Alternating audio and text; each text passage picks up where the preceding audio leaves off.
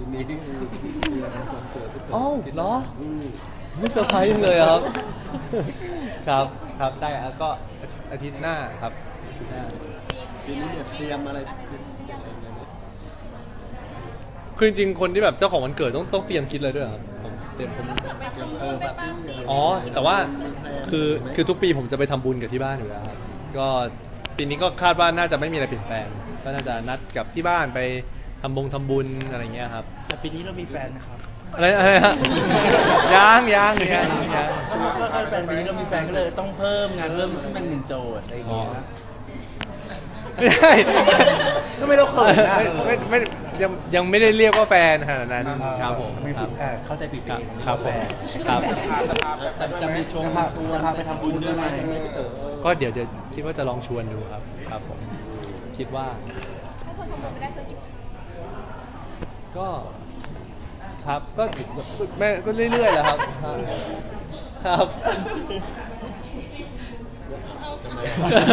ปีนี้มันจะแบบพิเศษกว่าปีที่ผ่านมาอะไรอย่างเงี้ยพี่เต๋อเราก็แบบคือใจแล้วอะคือผมก็จะรู้สึกว่าวันเกิดวันเกิดผมทุกปีอะไรเงี้ยผมก็ไม่ไม่ได้พิเศษมากอยู่แล้วอะครับ ก็ก็เป็นวันวันหนึ่งที่แบบ เราก็จะได้ส่วนใหญ่เราก็จะอยู่พร้อมหน้าพร้อมตากับครอบครัวครับก็ไปกินข้าวไป ทำบุญทำบุญอะไรเงี้ยครับก็จะเป็นเหมือนเป็นวันวันหนึ่งที่คล้ายๆ วันเกิดคือวันครอบครัวมากกว่าครับสำหรับผม กลัวน้องเขาเซอร์ไพรส์ไหมครับไม่ ขนาดวันเกิดเราเรายังไปวันเกิดเขาเรายังไปเซอร์ไพรส์กลัวเขาน้องเขามาเซอร์ไพรส์เราไหมก็ไม่ไม่ได้กลัวครับคือถ้าถ้าเซอร์ไพรส์ก็ดีแต่ถ้าไม่มีเซอร์ไพรส์ก็ไม่เป็นไรครับเพราะอย่างที่ผมบอกว่าวันเกิดก็คือเป็นวันวันหนึ่งสำหรับผมไม่แล้วเราอยากได้ไหมหวังไว้ว่าจะมีกันน้องเลย ก็เฉย ถ้าถ้ามีก็ดีถ้าไม่มีก็ไม่เป็นไรครับผมไม่ก็เฉยๆครับเฉยๆแต่ก็อยากให้มีครับครับก็ไม่รู้เหมือนกันครับครับอะไม่ต้องไปถามน้องกันนะครับ เดี๋ยวถามเดี๋ยวเดี๋ยวพอเขาพูดมาก็ไม่เซอร์ไพรส์อีกบางทีถ้าเขาเตรียมมาแล้วถามชัวร์ผมรู้แหละความสัมพันธ์ตอนนี้เป็นยังไงบ้างความสัมพันธ์เหรอครับ ก็เรื่อยๆ มาเรียงๆนะครับเรียงเสียงคนทั้งคู่ครับก็ค่อยๆ ค่อยๆรู้จักกันเพิ่มมากขึ้นไปเรื่อยๆทุกวันครับมันมีแบบพัฒนาเพิ่มอะไรแบบอะไรมากกว่าเดิมไหมเมื่อไหร่ใช้คำว่าแฟเออเป็นนแฟนกันเรื่อยๆไหม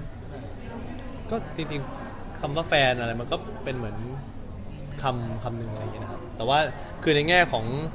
ของการรู้จักกันการแบบเหมือนแบบใช้เวลาด้วยกันมันก็มีเพิ่มขึ้นเรื่อย ๆอะไรอย่างเงี้ยครับแล้วก็รู้สึกเออก็ดีใจที่ที่เราได้รู้จักเขานะเพราะเขาก็จะมีมุมที่แบบน่ารักน่ารักมีมุมที่ ที่แบบทำให้คนรอบข้างมีความสุขอะไรเงี้ยแล้วก็เราก็เหมือนได้ซึมซับแบบความสุขเหล่านั้นผ่านผ่านจากตัวเขาด้วยอะไรเงี้ยครับมันก็เป็นเหมือนเป็นเหมือนสิ่งที่ดีที่ที่ได้เจอกันได้รู้จักกัน ก็ได้พัฒนาไปเรื่อยๆ ในแต่ละวันครับก็เลยไม่ได้ไปโฟกัสว่าจะต้องเป็นคำคำว่าแฟนหรือคำนู้นคำนี้คำนั้นอะไรเงี้ย จริงๆยังติดอะไรอยู่ครับพี่เต๋อที่ยังแบบยังไม่พร้อมที่จะมีคำว่าแฟนหรือว่าจะไม่ใช้เออจะไม่ใช้เลยจะคบกันแบบคือจริงๆจริง ๆ ติดอยู่แยกกระโศกนานมากเหมือนกันเพราะว่าเพราะว่าไฟตรงนั้นน่ะสัญญาณเขาเขาค่อนข้างใช่ครับ แล้วรถรถมันเข้าออกเยอะไงครับช่วงฝนยืมยืมเงินแล้วติดเขาพอฝนตกอันนั้นคืนไปแล้วนะขึ้นไปแล้วครับคืนไปแล้วสองพันคืนไปแล้วครับอย่างเวลาตอนเจอกันในกองทุกๆวันอย่างเงี้ยมันทำให้รู้สึกว่ารู้จักกันมากขึ้นไหมได้เข้าบทค่อย ดูแลกันมากขึ้น เพราะปกติครับเราไม่ค่อยได้เจอกันต่างคนต่างยุ่งอ๋อครับ ก็ ก็ไม่เชิงเป็นคำว่าดูแลหรอกครับ ก็เหมือนได้ได้ได้เจอได้เจอกันได้คุยกันได้เล่นกันเขาก็ชอบแกล้งผมอะไรเงี้ย ผมก็ผมก็จะเป็นฝ่ายถูกแกล้งซะบ่อยๆอะไรเงี้ยมันก็มันก็เป็นความสนุกสนานในกองแบบหนึงเหมือนกัน คือจริงๆเราครับ เราไม่เคยยอมนี่เราก็แกล้งกลับตลอด มันสุดแต่ท้ายทีนี้ดูเหมือนเรายอมสุดท้ายมันก็แพ้อยู่ดีครับคือมันมันไม่มีอะไรอือเลยคือไม่มีอะไรน่าอือเลยครับก็ก็เออก็เหมือนเราเขาแกล้งแล้วเราก็แบบเออมันก็แบบเหมือนสู้เขาไม่ได้หน่อยๆเฮ้ยไม่ไม่เห็นมีอะไรหูเลยมันเป็นปีเลยมันไม่มีอะไรหูเลยเหมือนในการแพ้ใจเขาหรือเปล่าพี่เต๋อไม่ยอมเนาะเฉพาะน้องใหม่คือถึงไม่ยอมไม่หรอกครับเขาคือเขาจะหาพวกเก่งเขาก็จะมีพวกเยอะอะไรเงี้ยแล้วพอมีพวกเยอะปุ๊บเราก็จะแบบเห มือนเราก็จะสู้กับคนหมู่มากไม่ได้ครับเราก็เออเราถ้าเราเลือกแบบยอมแพ้ตั้งแต่ต้นๆอะไรเงี้ยเราก็จะไม่ไม่เจ็บมากครับเป็นเทคเป็นเทคนิคเขามากหรือเปล่าหรือเปล่าพี่มันไปถึงแพ้ใจได้เลยเหรอเพลงต้องขึ้นอีกเพลงแล้วโอ้ยแล้วแพ้ใจเพลงเก่าด้วยนะ ก็ครับไม่ไม่ใช่ก็ก็ก็เหมือนแบบเออมันสนุกดีครับ เหมือนเป็นการเล่นอะไรสนุกดีฮะละครถ่ายเพลงนั้นนะครับ ตอนนี้ก็ผมว่าก็เกือบครึ่งหนึ่งแล้วมั้งครับ คือคือมันมีจำนวนคิวอยู่แต่ผมจำไม่ได้ว่ากี่คิวแล้วผมไม่ได้จำเท่าไหร่ครับ แต่ว่าแต่ก็ถ่ายไปได้เยอะแล้วครับ มันก็คือนางเอกก็จะมี part ที่แบบไปเจอกับพระเอกต่างๆ หลายๆหลายๆคนอะไรเงี้ยเราก็จะแทรกซึมอยู่ในแต่ละ part อะไรเงี้ยซึ่งตอนนี้เอ่อน้องใหม่เขาได้เจอพระเอกแบบเหมือนครบทุกคนแล้วอ่า ครับแต่ว่าก็จะมีเส้นเรื่องของแต่ละคนอีกครับ ก็ถือว่าใกล้จะปิดกล้องแล้วนะครับน่าจะน่าจะยังครับน่าจะประมาณครึ่งหนึ่ง ครับอีกอีกประมาณครึ่งหนึ่งได้ครับ เราได้ดูเทคมอนิเตอร์มั้างไหมเพราะหลายคนคาดหวังว่ามันต้องฟินมันต้องแบบว่าอืมจริงก็ก็จะมีไปดูบ้างครับ แต่ส่วนตัวผมผมจะเป็นคนไม่ค่อยไปดูมอนิเตอร์อยู่แล้วครับ ยกเว้นแต่ผู้กำกับเขาก็จะเรียกไปให้ดูว่าแบบเอออยากให้แบบแก้ตรงนี้แก้ตรงนั้นผมก็ถึงค่อยไปดูอะไรเงี้ยเพราะว่าผมก็รู้สึกว่าเออแสดงแล้วก็อยากแสดงให้รู้สึกธรรมชาติที่สุดอะไรเงี้ยบางทีไปดูมอนิเตอร์บางทีเราก็จะรู้สึกว่าติตัวเองตรงนู้นตรงนี้อะไรเงี้ยก็เลยอยากจะ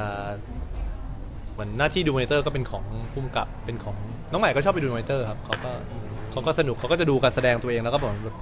เดี๋ยวจะพัฒนาให้ดีขึ้นเขาเป็นคนขยันมากนะจริงๆแล้วตั้งใจครับที่ชมชมเขาชมชมจริง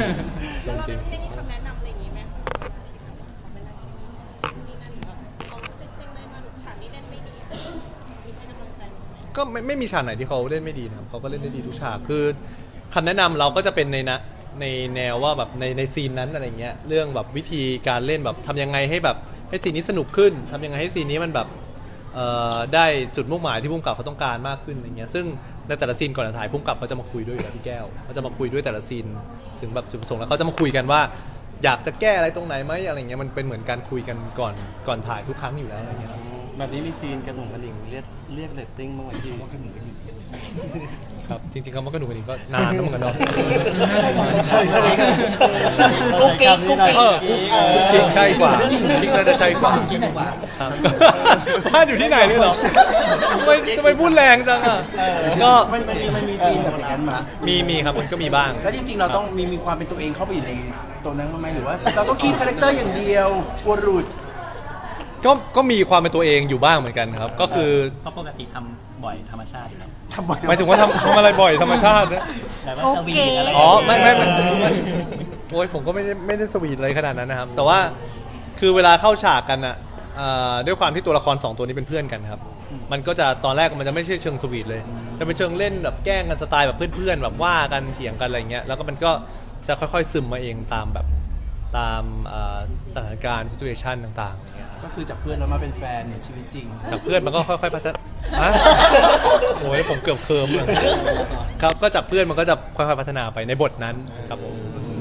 แล้วเราได้ไปดูไหมเขาเข้าฉากกับพระเอกคนอื่นเขามีฉากกุ๊กกิ๊กกันเรามีแบบต้องนั่งคอมเมนต์ดูหรือว่าเออมันไม่ผ่านใกล้ไปไหมไม่นะครับมันก็เป็นการแสดงนะครับผมก็คงไม่ไปนั่งคอมเมนต์อยู่กับผู้กำกับขนาดนั้นนะครับก็